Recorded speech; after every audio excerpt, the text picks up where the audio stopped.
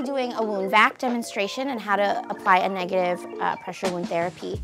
Um, we're gonna be doing it on a prosthetic butt today on this uh, laceration. So you wanna make sure to skin prep your peri wound always before putting on your drape.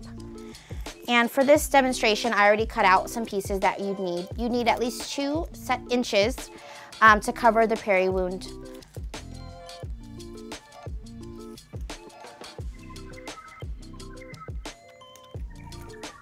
And you just follow the instructions of the numbers how to peel these back.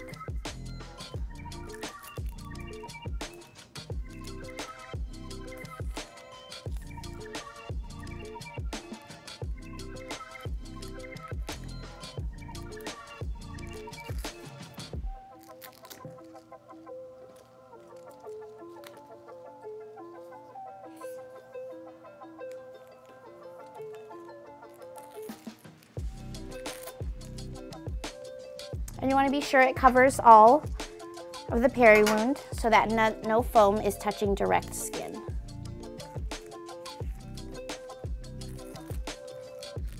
Okay.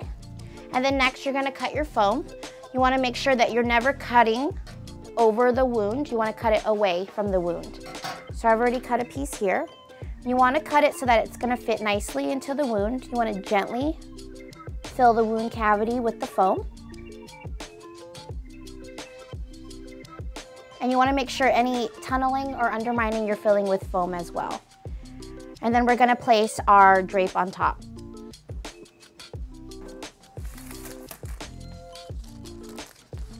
And we wanna cut so that it's covering the whole wound.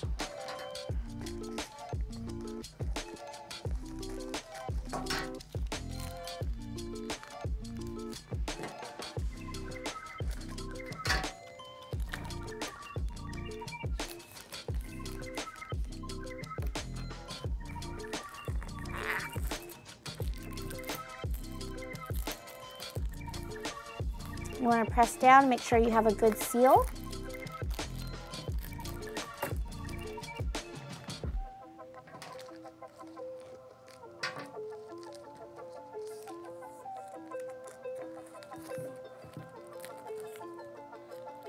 Okay.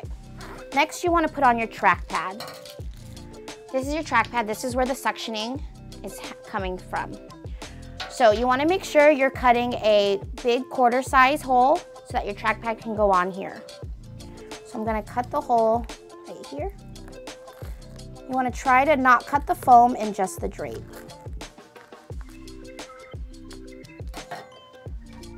I'm gonna peel back the number.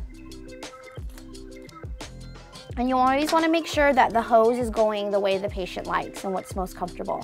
So I'm gonna place the track pad right over the hole I've created. I'm gonna peel this back.